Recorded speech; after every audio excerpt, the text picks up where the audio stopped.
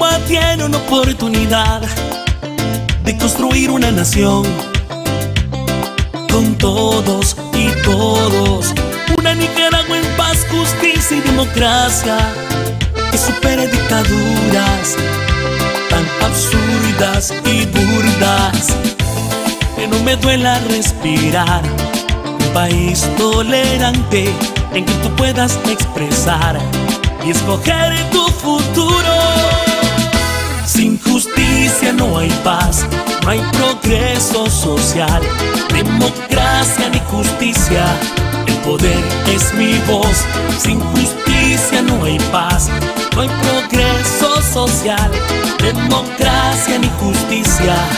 Y no te olvidaremos, el poder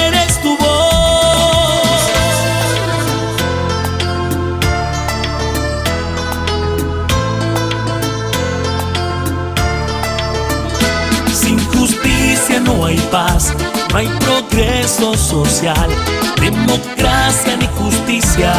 El poder es mi voz, sin justicia no hay paz, no hay progreso social, democracia ni justicia. Y no te olvidaremos, el poder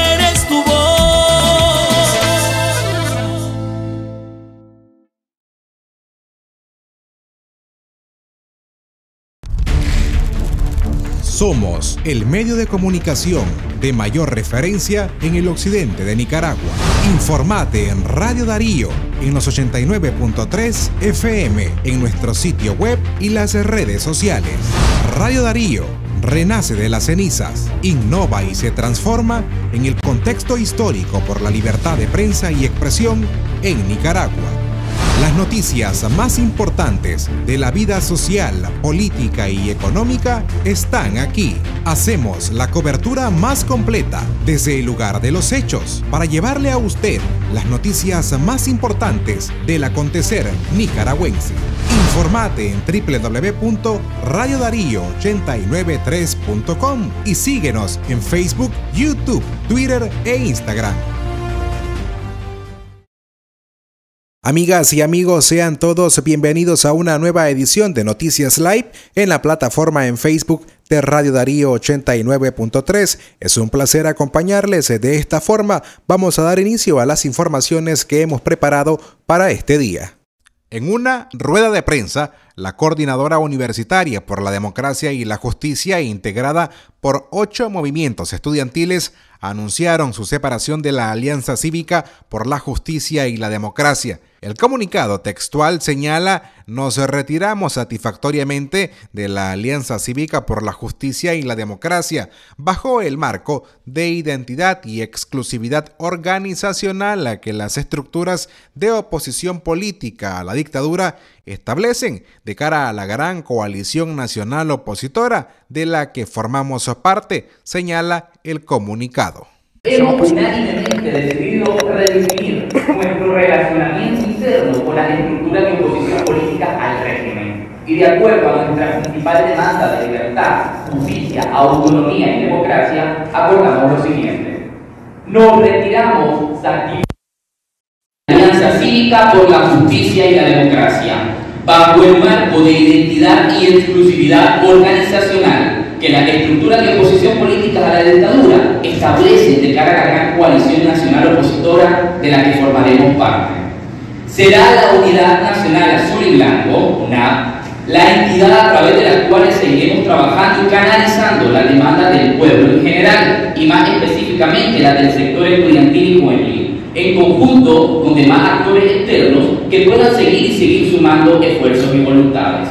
En cuanto a la Alianza Cívica por la Justicia y la Democracia, permanecerá vigente nuestra disposición de seguirnos encontrando en el proceso de construcción de la gran coalición opositora. Darío Noticias.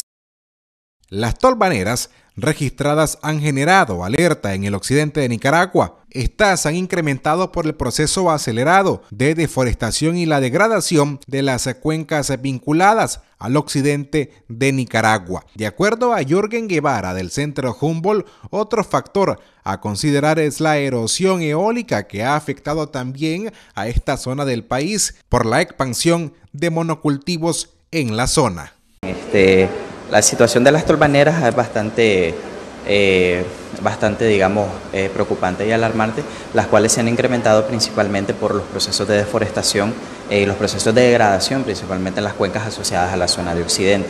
Esto, favorecido también por las condiciones climáticas actuales, es lo que ha dado el, actual incremento de las tolvaneras en esa zona. La zona de Occidente eh, ha sido una de las zonas que históricamente ha sido afectada por la erosión eólica, principalmente por las condiciones de expansión de monocultivos que existen en la zona y por los procesos de deforestación y degradación que están en las cuencas y asociada a también a, las riberas de los ríos y también obviamente a las zonas de recarga hídrica. ¿Cuál es la velocidad de los vientos? Eh, bueno, según los pronósticos eh, se, han, se han esperado rachas de viento bastante fuertes eh, digamos, para la zona y esto ha fomentado, digamos, de que el suelo, en este caso descubierto, muchas de las áreas que no tienen cobertura y que no tienen protección de cobertura vegetal, eh, se eleven y puedan generar, digamos, estas torbaneras. Ahora, existen, digamos, diversos riesgos, los cuales también están asociados no solamente al tema de la, al tema de la erosión eólica, a la degradación de los suelos, sino también a ciertas afectaciones a la salud de las comunidades y en las zonas que están cerca de las áreas productivas que se encuentran descubiertas y obviamente también están siendo afectadas por las tolvaneras. Darío Noticias. La situación ambiental y las temperaturas no avisora mejores condiciones en este 2020 si se toma en cuenta los fenómenos ambientales registrados en 2019 en Nicaragua, de acuerdo a Víctor Campos, director ejecutivo del Centro Humboldt, solo el año pasado, 7 de 16 departamentos del país alcanzaron temperaturas mayor a 40 grados centígrados. Fue una situación inusual para el país, considera el ejecutivo del Centro Humboldt. El índice máximo de la temperatura anual de 1% fue superado por el país, señaló Campos. El año pasado, efectivamente, en siete departamentos del país se identificaron temperaturas arriba de los 40 grados centígrados, lo que es una situación inusual para el país. Los promedios anuales de temperatura eh, están entre 1 y 1.5 grados centígrados. Recordemos de que el límite máximo de calentamiento debería estar en 1.5 grados centígrados. Nicaragua ya prácticamente lo alcanzó en una parte importante del territorio nacional. Eh, esto, eh, la sobreexplotación de los recursos acuíferos, ha traído, por ejemplo, en la zona de Occidente, la intrusión marina, eh, agua, al extraer demasiada agua dulce para principalmente riego y para otras actividades agropecuarias, esto hace que el mar, el agua marina, avance por lo subterráneo y esto ya es un proceso irreversible. Ya cuando esto se alcanza, ya no hay posibilidades de hacer esa agua. En el tema de Occidente tenemos el tema de, el, de las tolvaneras que ahora se están sufriendo en este periodo cuando tenemos las mayores rachas de viento en el, en el año. Esta es una situación realmente preocupante porque tiene que ver, mientras no cambie la forma en que se usa el suelo, este va a ser eh, difícil el poderlo controlar. Sabemos de que además de que estas partículas eh, y estas tolvaneras eh, afectan la salud de la población, porque no solo arrastra eh, sedimentos y suelos, sino también partículas de agrotóxicos de que van a parar, digamos, a, la población en general. pero además se, deterioran los suelos porque el viento levanta las partículas más finas y va dejando solo las partículas más gruesas del suelo y esto cambia el potencial del suelo. Darío Noticias. Este miércoles fue presentado en la ciudad de Managua el estudio Obstáculos que enfrentan las mujeres emprendedoras en Nicaragua para acceder a los beneficios fiscales en el sector panificación. Este es uno de dos estudios realizados por la Fundación Nicaragüense para el Desarrollo Económico y Social FUNIDES, presentado por la Red de Empresarias de Nicaragua y Mujeres de Liderazgo. A continuación, los detalles del estudio. También les consultamos que se han tenido que reestructurar deuda en los últimos 12 meses con instituciones financieras y encontramos que el 17% más o menos si ha tenido que reestructurar deudas. De estos negocios, el 68.8% son propiedad de mujeres. ¿Qué tipo de, de deudas han tenido que reestructurar, se trata sobre todo de deudas comerciales. También les preguntamos si han tenido eh, dificultades para hacer pago eh, frente al pago de otras obligaciones, o sea, con proveedores, con instituciones públicas, con servicios básicos, y encontramos que el 32% de los negocios ha tenido dificultades para hacer eh, pago frente al pago de estas obligaciones, y se trata sobre todo de pago a proveedores, de liquidación de trabajadores y de servicios básicos. Es decir, las empresas se hicieron más pequeñas, despidieron personas, pero todavía están teniendo o están acarreando deudas con los trabajadores para poder eh, completar el pago de las liquidaciones.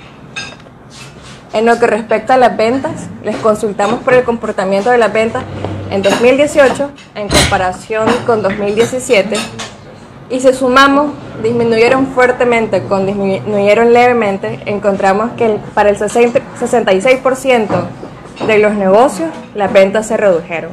Y estamos hablando que pues, el producto que venden es panadería, es pan, o sea, un producto que es parte de la canasta básica de los nicaragüenses y el, lo que reportan, ¿no? reducción de ventas en la panadería es bastante elevado. Darío Noticias.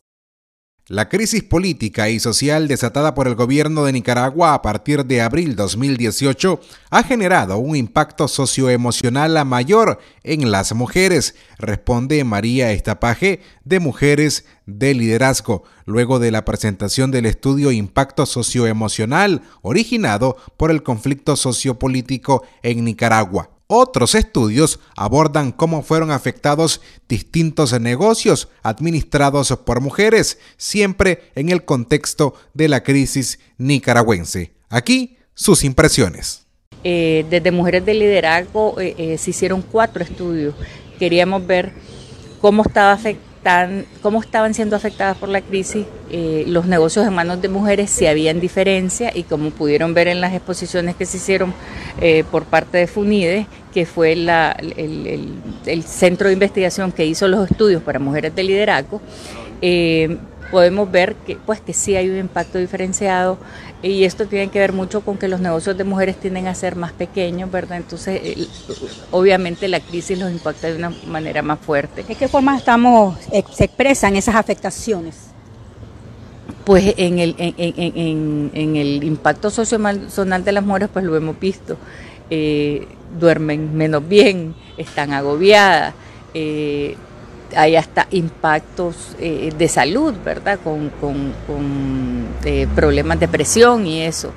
Entonces, eh, estamos viendo de que la crisis no solo es una crisis económica y no solo tiene impactos económicos, sino que tiene también impactos de salud mental y, de bienestar para, para los hombres y las mujeres, pero nosotros nos interesaba ver más pues e-, ese impacto en las mujeres y vemos que sí es mayor. Y como te digo, nosotros creemos que viene desde este triple rol que tiene que jugar la mujer de, eh, eh, de su negocio, la familia, eh, la comunidad en la cual está involucrada, ¿verdad? Entonces vemos que sí hay un impacto mayor. Darío Noticias. Para los empresarios de Nicaragua, el panorama económico para el año 2020 es sombrío. La falta de acuerdos políticos para resolver la crisis ha ahuyentado la inversión extranjera y ha obligado a varias empresas a despedir a miles de trabajadores, según Guillermo Jacobi, representante del sector privado. Cuando una empresa reduce gastos, uno de los rubros que tocan es la mano de obra, es el empleado. Y normalmente se van empleados de todo nivel Jacobi, quien preside la Asociación de Productores y Exportadores de Nicaragua, explica que la economía se seguirá deteriorando mientras no se retomen las negociaciones entre el gobierno y la oposición.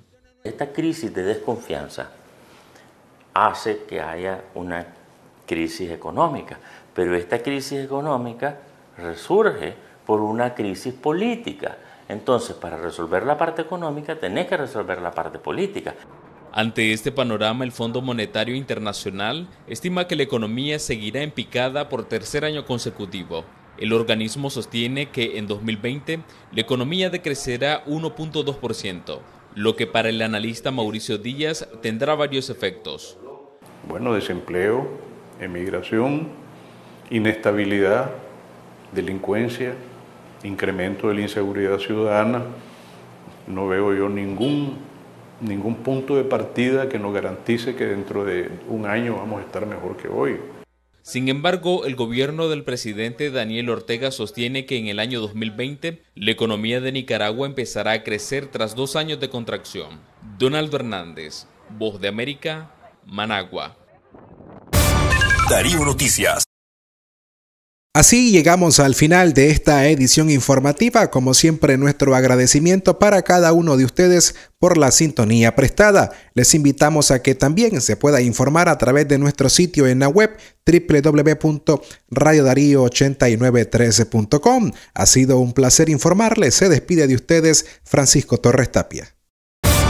Darío Noticias. Sistema Informativo Darío Noticias. Vamos a continuar con la información porque la Darío Noticias, la manera más eficiente de informarte. 893, calidad que se escucha. Darío Noticias.